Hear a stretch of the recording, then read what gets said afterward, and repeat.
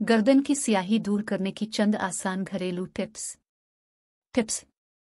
एक लीमू का छिलका तकरीबन आधा कप पानी में उबाल कर ठंडा कर ले, फिर इस पानी में चार खाने के चम्मच जू का आटा और आधा चाय का चम्मच हल्दी मिलाकर पेस्ट बना ले। ये पेस्ट गर्दन पर लगाकर 10 मिनट मसाज करें और पानी से धोने के बाद किसी अच्छी मॉइस्चराइजिंग क्रीम में तीन कतरे अरग गुलाब मिलाकर लगा ले। ये अमल एक हफ़्ता पाबंदी से रोज़ाना करने से गर्दन की स्याही बिल्कुल साफ़ हो जाएगी। एक खाने का चम्मच नमक और दो खाने के चम्मच बेकिंग सोडा किसी बर्तन में डालकर इसमें एक चम्मच जैतून का तेल मिलाकर अच्छी तरह मिक्स करें और फिर गर्दन पर लगाकर चंद मिनट तक मालिश करें। फिर पंद्रह मिनट तक ये पेस्ट लगा रहने दें और नीम गर्म पानी से गर्दन धो ले। ये अमल एक हफ़्ता लगातार करें, इससे गर्दन दूध जैसी सफ़ेद हो जाएगी। एक कच्चा दूध, ताज़ा लीमू का असर और थोड़ा सा आटा बाहम मिला लें। इस आमेजे को गर्दन पर लगाएँ।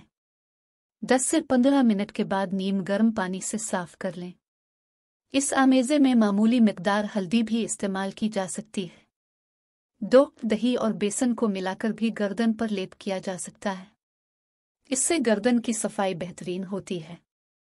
तीन, ग्लेसरीन, पानी और लीमू रोई की मदद से गर्दन पर लगाएँ, रात भर लगा रहने दें।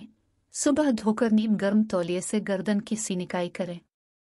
चार दूध में चुपकी भर नमक मिलाएँ। इस दूध से गर्दन धोएँ। गर्दन की रंगत निखर जाएगी।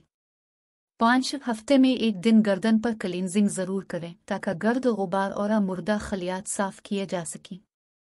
छः अगर आपकी नलद हसास नहीं है तो महीने में एक बार म्यारी बलीच क्रीम भी गर्दन पर इस्तेमाल की जा सकती है।